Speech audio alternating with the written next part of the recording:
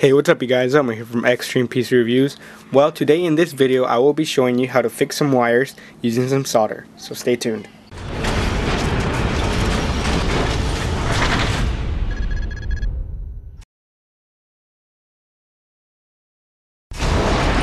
Alright, so I do have my uh, laptop charger wire and as you can see right here it is messed up. Zoom in right there.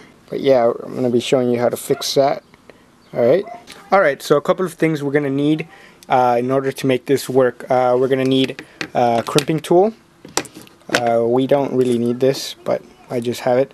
Uh, we need some solder. I have three different types of solder. This is extremely thin. Uh, this is, uh, I actually don't know because, you know, the label's messed up, but let's see if I could yeah, it's extremely thin. Alright. Uh, we have some 0.63 in diameter. Alright. And we have some 0.062 in diameter. We also have your flux, alright, which you're going to need. And we also have our soldering iron right here. Alright, I picked this up at Radio Shack. Uh, the cool thing about this is that you could change the wattage. So uh, I'm going to be using 20 watts uh, for this. Alright, 20 watts. And that's a cool thing you could buy because, you know, you could use different wattages for different things.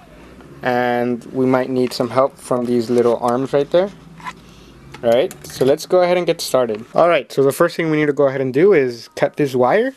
Uh, so we're going to be using the crimping, our crimping tool to cut it on both sides. Um, Alright, so we have two sides, okay? We now have two wires. Alright, so what we're going to be doing is taking away the outermost layer of plastic or insulation. Um, make sure you get enough, you know, because we're going to heat shrink this. So we get this. Right, and do the same to the other side. I would be doing some measurements, uh, but for the sake of time uh, of this video, I am not going to be measuring. So I'm just eyeing it on. It looks about right right?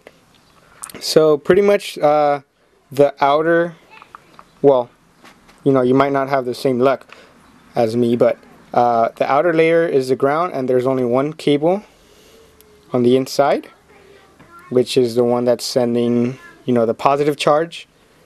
So we're just going to be, you know, just a little bit.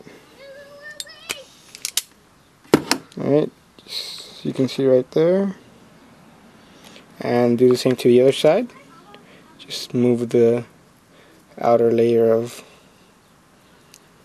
right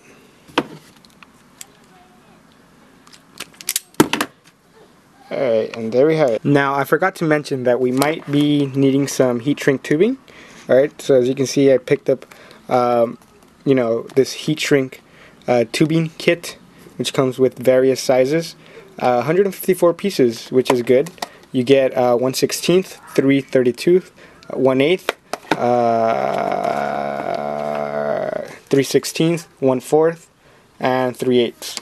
Alright, so we're going to be using the 3 16ths for the outermost layer, uh, you know, to make it, to make sure that you get, you know, a, a nice clean uh, cable.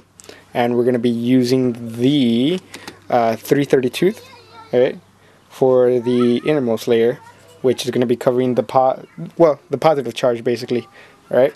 So we're going to close this up and uh, first of all I like to just go ahead and uh, put the biggest piece in well around the uh, cable right that way we don't have to struggle with it later. And um, first off let me move all this alright the first thing I like to do is to make sure that uh, I twist all the cables together before I solder them. Alright.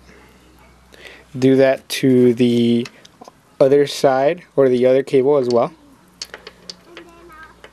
Alright. Alright, so now what I'd like to do is I'd like to go ahead and tin the soldering iron. So now that my soldering iron is, uh, you know, nice and hot, uh, I'd like to go ahead and get the, the actual solder and just, you know, go ahead and tin it a little bit. Right? It's more than enough. Right? And then just uh, put it on, put any excess off on the sponge provided with the little hands.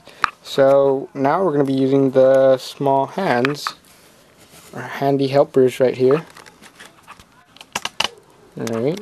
Alright, so now what we're going to go ahead and do is spread a little bit of solder on both wires before we uh, solder them together. Uh, so pretty much just heat up the wire a little bit first and just put some solder all over that. Just wait for it to heat up. Should be hot enough right now.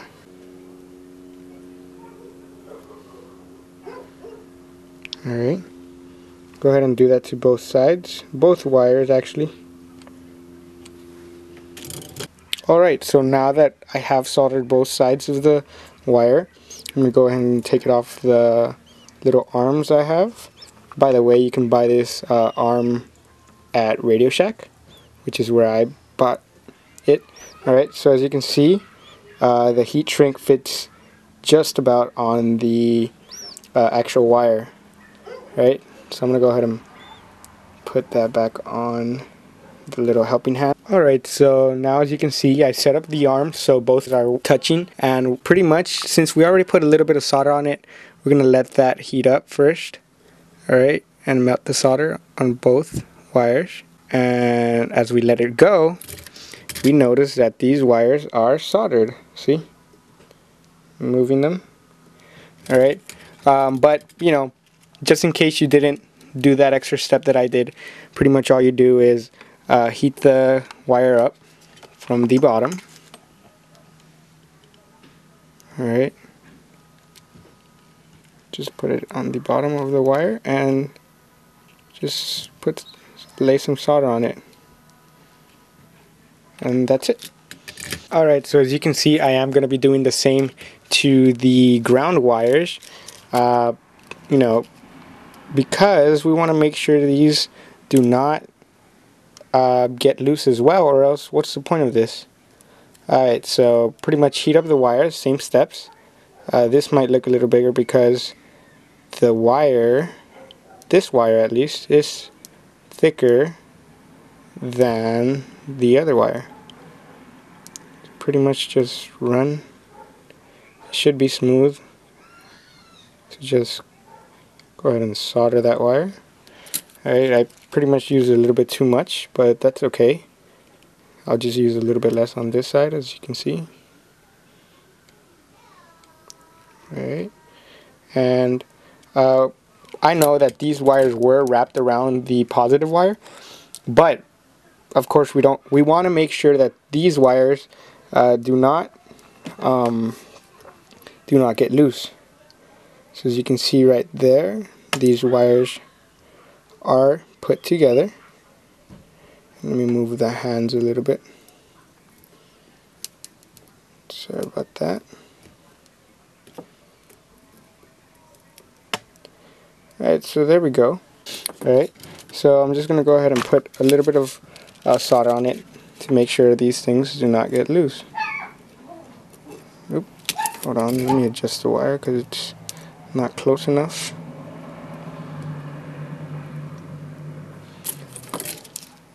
Alright.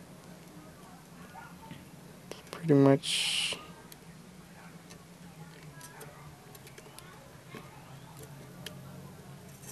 There you go. This whole wire is soldered. Alright, so let me take it off the arms as you can see right there hold on everything is soldered see that now you can press down see there you go now this wire is ready for heat shrinking Oh yeah, I forgot to mention that um, it kind of melted the heat shrink on the positive wire, so I used a little bit of electrical tape. So now, um, what you do is you get, uh, move this to the side, all of this to the side. Oop, let me focus this up. Uh, I'm going to get my heat shrink tubing that I previously put on and force it onto the entire wire. And sorry about that that is my droid. Alright so as you can see we have our heat shrink tubing right here. And it has covered up the entire cable that we just soldered. And uh, pretty much I use a lighter. That's one thing I didn't mention. We might need a lighter. Uh, to pretty much let me lift this a little bit. Just um, you know just apply some heat to the heat shrink now this is a very, uh, you know, most people like to use a little bit of, um, what are they called, uh, heat guns. Uh, I do not have one because I'm not sure why I don't have one, but uh, this works fine for me. Uh, make sure that the fire does not touch or else it might actually melt off a little bit. And if it does, you know, just go like this a little bit, maybe. That's the only way you'll get it to touch. I mean, you should touch that's the only way you should touch it, you know, really quickly, or else you're going to be left with a horrible smell and, uh, you know, a very crappy looking wire. So this is still hot, uh, so I'm just going to let go from the arms. Alright, and there you have it. You know, there's no... That's pretty much it.